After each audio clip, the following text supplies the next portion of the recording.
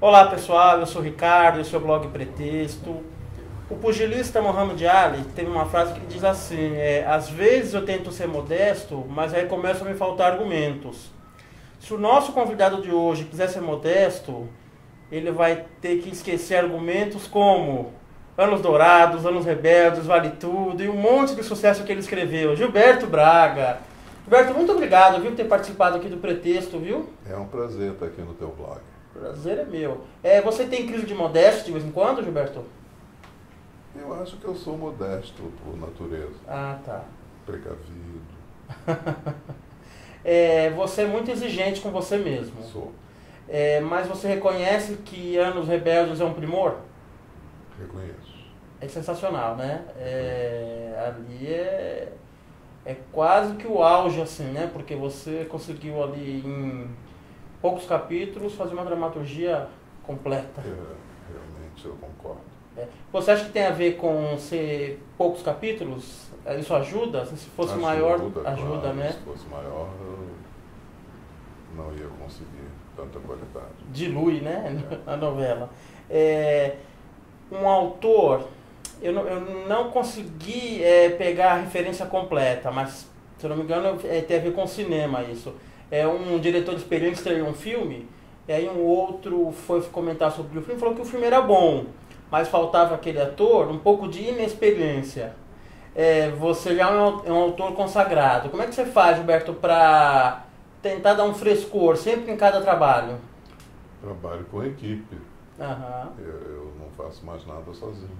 É, você foi pioneiro, aliás, disso, né? Sem dúvida. Aham. É, vou ler uma frase aqui de um livro que eu acho que você gosta, que é Madame Bovary. Diz assim: precisava retirar das coisas uma espécie de vantagem pessoal. Rejeitava como inútil tudo o que não contribuísse ao consumo imediato do seu coração, pois seu temperamento era mais sentimental do que artista, e ela procurava emoções e não paisagens. Você acha que também pode se aplicar isso ao público de novela? Eles estão procurando mais emoções do que qualquer outra coisa? Acho, acho que a frase se adequa. Tem a ver, né? novelas. Aham. É, Tem um episódio na novela Vale Tudo que é muito curioso. É uma novela antiga, mas que marcou, né? É um episódio que você contando sobre a maionese. Você teve, acho que, é, prolongar um pouco a novela e teve que criar um episódio lá que tinha uma maionese que estava com algum problema lá na época que a Regina Duarte era cozinheira, né? É, Quando você lembra desses momentos assim, que parece que você não, não, não gostou muito desse artifício, mas você teve que, que criar. Você se diverte, você, você vê com. Você sabe, na época eu não gostei da maionese. Ficava com vergonha, achava que era uma trama banal, indigna da, da personagem da Odette Reutemann então. E mais tarde eu mudei de ideia, tanto que hoje eu digo que não se faz novela sem maionese estragada. Chega uma hora que a gente precisa botar uma coisa assim mais popular, mais boba. E eu boto. Sem, sem problema agora, sem angústia. É. Ah, então tá bom. É, Tem uma frase que fala assim, ó. Nada traz de volta tão bem os velhos tempos quanto uma memória fraca. É, a gente tem visto agora pelo Viva, tem, tem tido a oportunidade de ver algumas novelas antigas. é. Você acha que as novelas antigas eram tão boas mesmo quando a gente pensa? Ou você acha que isso é fruto dessa tendência de a gente ser sau- saudosista? Ah, eu não sei responder, responder não. É muito difícil. É, porque as novelas no- novas são mais difíceis da gente escrever. Esse negócio de só fazer cena pequena. É, Eu, por exemplo, perdi ah, a vontade de fazer diálogo, porque tem que ser exprimido demais. Eu gosto de me soltar, claro. mas vou levando. Sei que realmente é perigoso Aham. fazer cena longa, Aham. então não faço, porque agora a gente tem essa concorrência que não havia na, na, época das minhas novelas uhum, passadas. Uhum. É... Se eu fosse escrever alguma novela ou algum livro sobre bastidores de novela, o que, que não podia faltar nesse livro? Uma coisa que sempre tem bastidor de novela, Gilberto.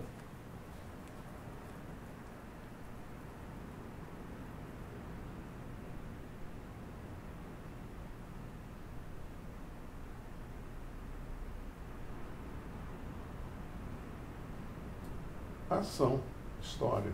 Aham. É, o, o Ciro de Abreu contou esses dias uma história e eu achei engraçado. Ele falou que em determinada novela, não sei se era novela dele, mas provavelmente, é, um ator pediu para não fazer par com aquela atriz porque a mulher dele tinha ciúmes. Ele falou que ele teve que, ou ele ou a pessoa, ela teve que fazer toda um, uma trajetória lá diferente do planejado para é, ajustar ali o pedido do ator, né? Essas coisas a gente não, não fica sabendo assim durante a novela, né? Tem alguma história assim, Gilberto, das suas, assim, de ter que mudar a história por algum contingente, assim, que, que não é usual? Tem, mas uh, não é o tipo de coisa que eu falaria. Entendi, entendi. É, quando teve a novela Força de um Desejo, que é muito elogiada até hoje, ela foi para o horário das 18 horas. E você na época comentou assim, é uma pena porque nesse horário os meus amigos ainda não estão em casa, ainda não chegaram em casa para ver a novela, né? É, você parece que tem um cuidado, um carinho muito grande com os amigos, né? É, alguns são conhecidos. Eu queria que você fizesse um rápido comentário deles, assim, a importância deles como amigo ou na sua vida, na sua carreira, tá? Primeiro é o Silvio de Abreu, que eu, que eu já citei. São pessoas que admiram o meu trabalho. Uhum. E eu penso muito nelas quando eu escrevo a novela. Porque uhum. eu não posso pensar em todo mundo. Claro, claro. Eu penso primeiro em mim, eu tenho que gostar. Uhum. Depois penso no, nos meus amigos. Tá. E eu acho que se eu e meus amigos gostarmos, o mais provável é que o grande público vai gostar também. Entendi, entendi. E o Silvio de Abreu como amigo, assim, tem alguma característica assim, que você queira destacar dele? Ah, ele é uma pessoa excepcional, um irmão. É um grande amigo, né? Já me ajudou em crises, eu já o ajudei em crise também. Uhum. Tem uma outra amiga que, assim, algumas pessoas com quem eu já conversei falam muito bem dela, ela já é falecida, mas sei que você tem um carinho muito grande por ela, que é a Leonor Baceres. Leonora era fantástica, eu tenho uma saudade imensa dela. Vocês trabalharam junto em, muitos trabalhos, né, Gilberto? Desde Muitas 1980 coisas, né? até 2004, quando Poxa, ela morreu. É muito tempo, né? E tinha alguma característica marcante dela, Gilberto? O humor. O humor. Não era uma pessoa de um humor excepcional. Bacana. Outra mulher que eu sei que a quem você é grata e também foi uma, uma amiga, quase uma mãezona, foi a Janete Claire. Sem dúvida, a Janete foi muito generosa comigo e com várias outras pessoas também. Sim, sim, sim. É, outro amigo, que eu sei que vocês são amigos e colegas, vocês trabalham bem junto, é o Denis Carvalho. Trabalho muito bem com o Denis. Característica assim dele, Gilberto, marcante? Carinho pelos atores. Legal, legal. Realmente eu já vi muita gente querendo trabalhar com ele, né? É, a próxima pergunta você escolhe, vou, falei, vou falar três tópicos, aí você escolhe uma, tá? Pergunta da praia, pergunta metamorfose e pergunta cachaça. Ah, vamos de cachaça. Cachaça. É, você declarou que se vir durante uma semana uma novela com uma boa trama, pronto, você vicia igual cachaça. Ah, eu vicio, sem dúvida. eu já estou viciado nessa do Agnaldo que estreou. Que eu ah, eu ia te perguntar. É, as críticas foram ótimas, né? É muito boa a novela. Que bom, que bom. Vou fazer um exercício agora, uma brincadeira, se você aceita. É... O que, que você mudaria? Pode ser título ou alguma coisa. Ah, eu teria feito diferente em alguns trabalhos seus. Falar alguns e falar, ó, isso aqui talvez eu daria outro nome, talvez eu não fizesse uhum. isso. Uma novela que é muito elogiada, é, eu, eu, era criança, então eu me lembro vagamente, é Corpo a Corpo. Você mudaria alguma coisa nela, Gilberto? Faria alguma coisa diferente? Tentaria fazer com uma estrela. Tá. Que, que me faltou. A Débora Duarte é, é uma atriz excepcional, Aham. mas não é uma estrela de novela. Entendi, entendi. Eu acho que a novela lucraria. Tá. tá. Mas não, não tinha outra. Não, Entendi. Era a opção que tinha na época. É. Tá. É, Louco Amor. Ah, Louco Amor eu mudava quase tudo, não gosto dessa novela. É, eu me lembro da abertura só, Gilberto. Eu também era criança. Pátria Minha. Essa eu me lembro bem já. Pátria Minha começa muito bem, Tá, mas eu tive tanto problema com Vera Fischer, tá. eu não gosto de falar sobre isso. Sim, sim, sim. Não quero mal a Vera, não Claro, gosto claro, claro. puxando- Já faz algum tempo também, né? muito.